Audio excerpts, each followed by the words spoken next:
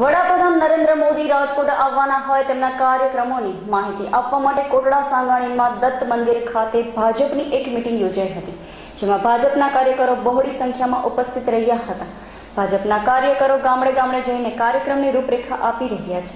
ભાજપના કાર્યકરો મિટિંગમાં ખાસ જોડાયા હતા અને આ મિટિંગમાં પૂર્વ ગૃહમંત્રી ગોરધનભાઈ ઝડફિયા, જશુમતીબેન કોરાટ ધારાસભ્ય ભાનુબેન બાબરીએ ભાનુભાઈ મહેતા ઉપસ્થિત રહ્યા હતા અને ગોરધનભાઈ ઝડફિયા અને ડીકે સખિયાએ વિગતો આપી હતી.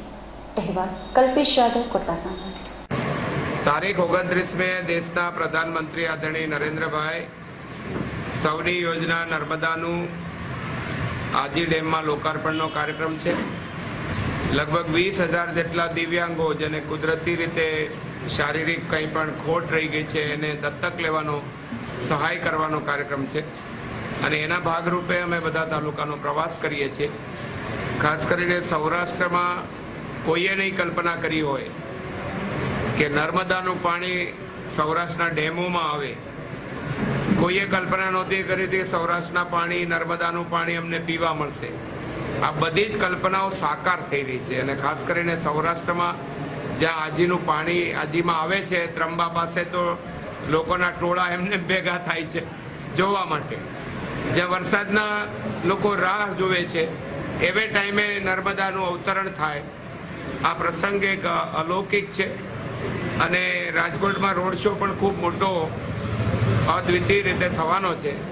ઓગણત્રીસ તારીખે રાજકોટ મુકામે આપણા આપણા વડાપ્રધાન નરેન્દ્રભાઈ મોદી નર્મદા ડેમના પાણી આજી નદીમાં લોકાર્પણ કરે છે ડેમમાં. એના માટેના કાર્યક્રમ માટે આજે અમે દરેક મંડળના પ્રવાસ કર્યો આ પ્રવાસની અંદર અમારે સંખ્યા રાજકોટ જિલ્લામાંથી પિચોતેરથી એંસી હજારની સંખ્યા અમે કરવાના છીએ. દરેક મંડળના પ્રવાસ કર્યા પછી એની વ્યવસ્થા કેમ થાય, ત્યાં પણ એના વાહનની સગવડ, આ બધી વ્યવસ્થા અમે કરી આપી.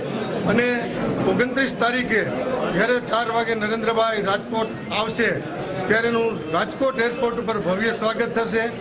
સ્વાગત થયા પછી રેસકોર્સની અંદર દિવ્યાંગોને ત્યાં જે સાધનો અને એને સહાય આપવાની છે એ કાર્યક્રમ છે, ત્યાર પછી આપણા વડાપ્રધાન આજી ડેમ ઉપર જે કાર્યક્રમ થઈ રહ્યો છે, એ કાર્યક્રમમાં આવવાના છે અને કાર્યક્રમ પાંચ સાડા પાંચે પૂરો થયા પછી રોડ શો થવાનો છે. આ રોડ શો રાજકોટની અંદર સુરત કરતાં પણ ભવ્ય રોડ શો બનવાનો છે.